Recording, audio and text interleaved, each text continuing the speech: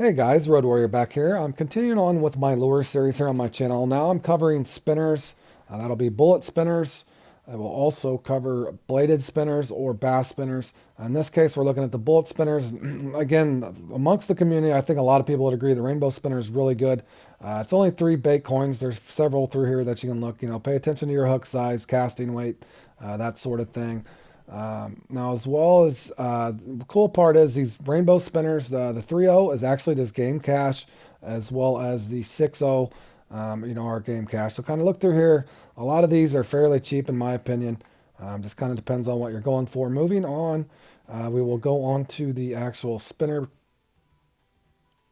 spinner baits and buzz baits. Also, Again, I've mentioned this before in my top water video, but the buzz baits themselves are kind of a hybrid, so to speak. You can use them as a bass jig, uh, you know, spinner on top of the water, all kinds of stuff.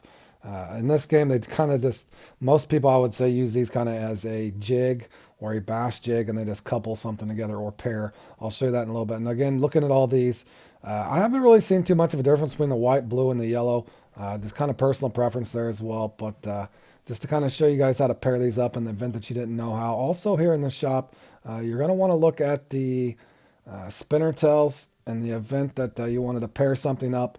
Again, uh, the baitcoin ones, I haven't seen that much difference. I do not have the X Series spinner tail. I heard it uh, is magnificent. I've not yet to win that in a competition, but nonetheless, something to strive for or aim for. So Again, just kind of showing you guys how to pair these up in the event that you did not know how to. Simply go once you've equipped your spinner, uh, your spinner bait here. You can go color coded if you want.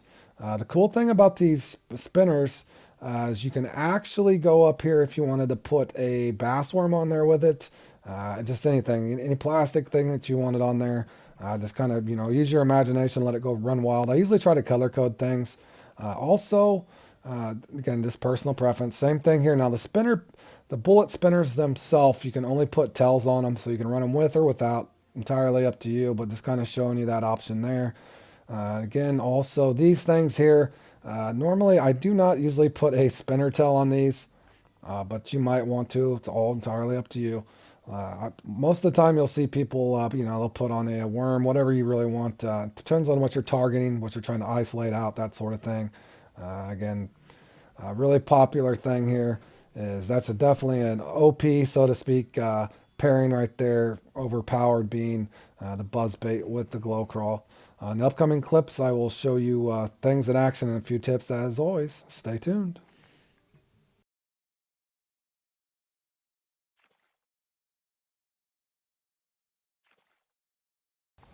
Okay guys, starting here with a bullet spinner. This here is a ladybug spinner. I can't remember exactly where I got it. I'll use some generic spinners as well, but this is one that you pick up early in the game. Forgive me for not remembering, but this is a great lure here.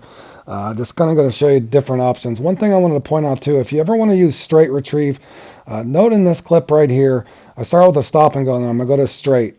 One key thing too, just kind of like knowing your reels and rods. Uh, this is actually a Bremer on a jig winner. As you can see, I still get a fish there. However, uh, to keep that low in the water, uh, I'll show you kind of an upcoming clip. Also, strategy-wise here, you might want to, you know, start with a 1-0. I'll show you this at multiple lakes. Uh, you know, maybe go for some trophies and some smaller fish here to start. Again, this is just me doing a twitch here at the bottom. Uh, sky twitch, auto twitching, however you want to phrase it. Uh, nonetheless, I'm just kind of showing you a cycle through here. Kind of strategy-wise, sometimes you might want to, uh, you know, start with a 1-0, get some of the fish out of the way, and then go to a 3-0. Uh, that's another good tip. Uh, you know, no matter what you're kind of doing, especially in regards to farming. Uh, now, see, as there, I picked up the uh, uh, the unique not too long afterwards here, the marble. Also, you'll notice the Bremer is not much of a, as much of a fight. now, what I'm keynote again, you know, I say that a lot. However, now I'm going to put the Aspiral reel on, and this is what I got on now. This is what I kind of wanted to show you here. Also, you know, I'm walking that down, just lightly twitching. When I get to the bottom, I'm going to show you a difference because now I got an Inspirial reel on here. It's going to be a lot slower of recovery. In the event that you're wanting to do a straight uh, retrieve for a spinner, otherwise it's just going to go all the way to the top. Also, see what I'm doing here is I'm moving my rod back and forth, left and right, uh, just to control the depth. I know about where the depth that they are. They're going to be in that lower one third. So as you can see here, uh, just to kind of keep the lure where I want it, I'm using a slower recovery reel and I'll show you here in a second, but this kind of, I wanted to kind of guide you along on this so it makes sense here. I'm doing a straight retrieve there. You can still get these on a straight retrieve if you want to do a slow roll spinner. Uh, you know, if you're not wanting to do a stop and go or a twitch, as you can see there, uh, hooked in him. Now, also, uh, the risk reward here is this fish could potentially spit the hook on you because you don't have the uh, reel speed needed. If he runs at you, with, with that being said, you'll notice here I'm just kind of showing this. Uh, be ready to throw your rod to the left or the right in the event that he's running at you, and that's what I'm just demonstrating there. In the event he takes off, uh, be ready to, uh, you know, go to the right or the left and reel as fast as you can. Again, the the catch 22 is you can keep it in the strike zone and be able to get a straight retrieve if you're wanting to do a slow roll with a spinner versus twitching or stop and go. I wanted to make sure that I made that clear as possible. There's a nice unique marble just kind of showing what I'm talking about there. That's basically just the uh, skin version of that reel right there, 27.5, uh, where the Bremer was 35. Now again, over here at Falcon, doing the same thing with the uh, the smaller rainbow spinner here, the 1.0. Uh, once I've caught a trophy or two, uh, you can see what I'm doing here. I just caught two trophies off the, uh, one trophy off the 1.0. Uh, now I've got the 3-0 on. Now, you know, I'm going for the unique here. You might use that same rule of thumb. Maybe get a couple of the fish out of the way first with your 1.0s, then go up to 3-0s in the event that you want to do spinner. Again, I'm trying to teach as I go here, so uh, now going on, sticking with the bullet spinner. Now we are heading to again the retrieves. If you guys watch my spoon videos, same kind of a thing. Uh, you know whether you want to do a stop and go, twitch, uh, anything like that. Uh, that that's what you might want to consider. Uh, again, personal preference. I've noticed they'll hit stop and go, twitch, straight. It doesn't really matter, but it does kind of help in the event that you're not getting a bite. Again, don't uh, hesitate to alter retrieves. Uh, you know, maybe uh, you're not getting a bite on Twitch. Maybe you got to stop and go. Uh, if you, neither one of them is working, try a, uh, slow, uh, just a slow roll spinner, so to speak. Uh, nice, unique there off of a bullet sinker or bullet spinner, excuse me, 1.0 or 1 ounce 4.0.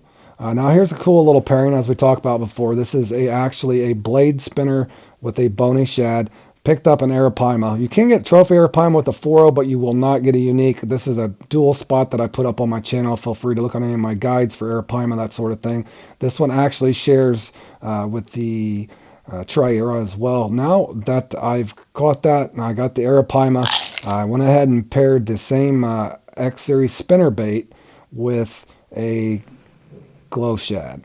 In the event that you didn't have any of those power lures, and uh, again, nice results here. A nice 76 pound unique Tri-Era. Okay, and then also uh, going back here, and this is just a generic lure here. We're at Quanchkin going for some largemouth bass. As you can see, this is just a generic spinnerbait 4.0 yellow with just a 4 inch yellow bass worm.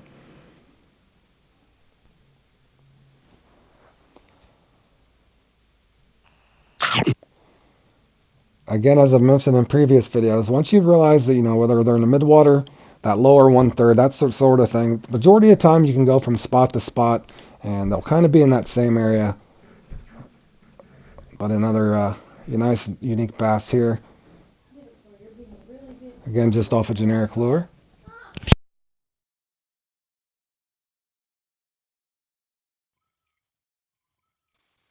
Also, when you're going on to the next spot again, you're just looking at the same thing. Just that similar spot. But I just wanted to show you this lure. This is a really good combo in the event you don't have the rattlesnake worm or the X-Series spinnerbait. This will work extremely well on bass. It doesn't even really matter the peak. Uh, just kind of matching up the uh, pairing, so to speak. Uh, again, just onto my third spot here. And this was all in the same net, mind you. Uh, but I'm just kind of showing you as you rotate around here. Uh, this is definitely a, uh, spinner bait I recommend. The yellow one, uh, the white one will work too, like I said, but the uh, for whatever reason, the yellow one with the uh, this yellow four-inch worm seems to work really well for me. again, I'm just going to show you real here real quick that this is just a generic four-inch, and I do have the rattlesnake worm, the X-Series bass worm, that sort of thing, but that's just a generic yellow worm there. Okay, now moving on here to beautiful blue crab island. Just wanted to show you something else too.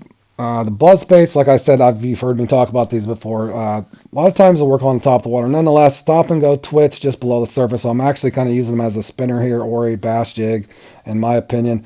In the event that you don't have the X Series nymphs or something like that, I wanted to show you another one. This is just a generic uh, nymphs on there with a black buzzbait, working it below the surface, stop and go here on this first fish. Uh, ends up being a really nice, uh, unique permit. Again, also, uh, just moving on here to the next. Um, now I'm going to target, uh, now that that's out of the way, hopefully we can get a couple tarpon. Again, this this just a generic buzz bait with again the glow shad.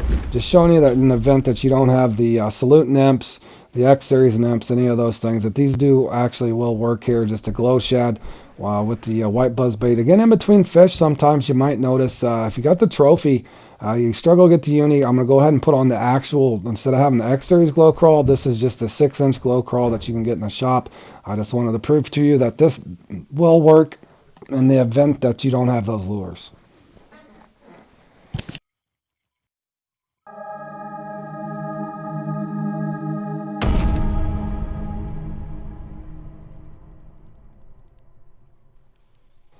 Also, if you're unfamiliar with blue crab and tarpon, make sure that you're extremely careful. Uh, keep that rod tip up. Sometimes you can see what I'm doing there. I'm keeping my trolling motor in the opposite direction. I'll, I have had them get off on low tension over here. For whatever reason, they love to pull you over here to this barge and spit the hook on you. So be extremely careful if you do hook into one of these. Uh, watch what you're doing to save a little bit of time here on this video. Uh, I fast forwarded a little bit here, but I just kind of wanted to show you. Be careful when you get over in this area. Make sure you keep that rod tip up once they start running at you. Use that trolling motor to keep a little tension on the uh, fish itself. But there's a nice 125 pound unique tarpon on a generic buzz bait uh, with just a glow crawl right out of the shop. That's the white one too. In the event that uh, you were struggling, didn't have the bait coins, that sort of thing. So take care, and there's a review of the net real quick. Hope this helps you guys out, and I will carry on the lure series with some upcoming videos as well. Thank you, and uh, we'll see you next time.